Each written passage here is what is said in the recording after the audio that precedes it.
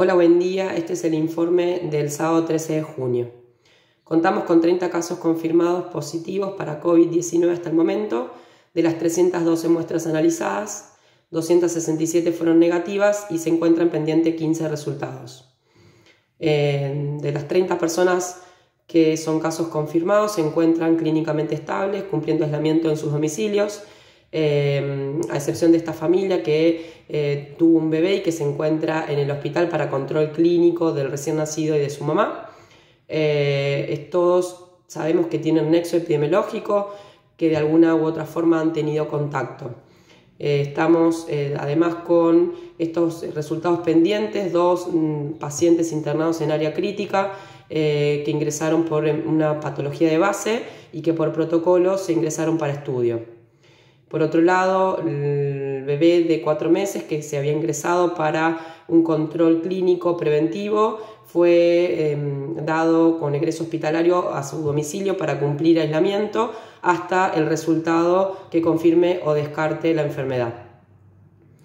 En el día de ayer hubo una nueva reunión del comité de crisis en donde eh, se hizo un análisis de la situación en donde estamos parados con respecto a la circulación local del virus.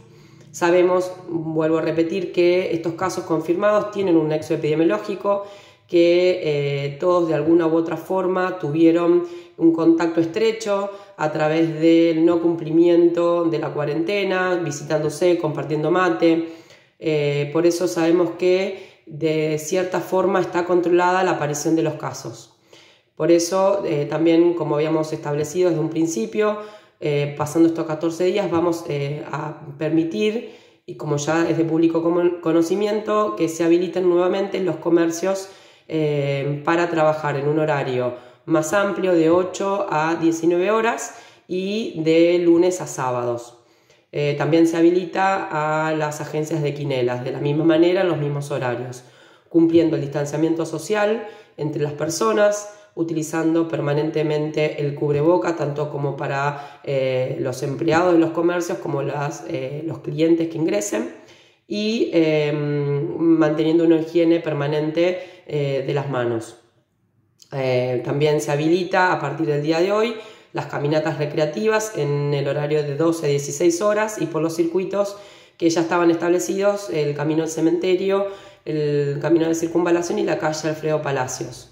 Eh, estas caminatas recreativas también eh, es para salir con los menores en sus bicicletas de manera recreativa. Eh, esto es también teniendo las medidas de distanciamiento social y utilizando el cubrebocas permanente.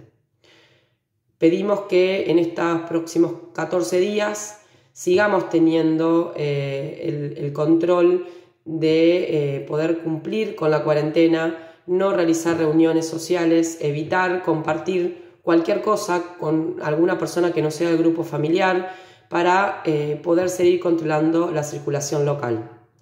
Esto es responsabilidad de todos, es trabajo de toda la comunidad de Capitán Sarmiento lograr frenar y bloquear al virus. Muchas gracias.